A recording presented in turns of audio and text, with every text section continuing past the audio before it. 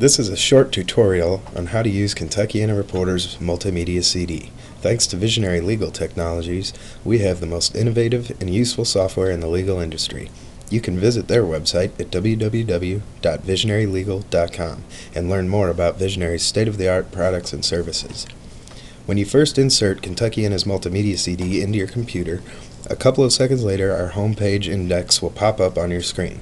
This will allow you to navigate the CD very easily.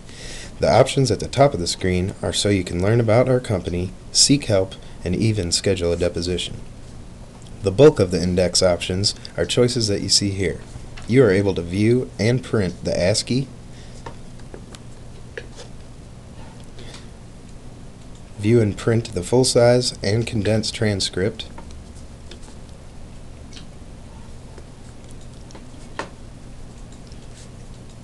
And finally, you are able to view and print the exhibits in PDF format. You can also use the other files created for Sanction, Summation, Trial Director for your choice of litigation software. To explore the CD, click on Start. Next, click on My Computer, right-click on the D drive, and click on Explore. Double-click on the Visionary folder, double-click on the Data folder. You can now copy and paste any file you want onto your computer and print and send emails very quickly and easily. This will allow you to build an organized database for all of your cases and end the need for staff to spend hours scanning in any exhibits and transcripts. It is already done for you. If you have not yet installed Visionary Viewer, then you have to do so before you can fully utilize Kentuckiana's multimedia CD.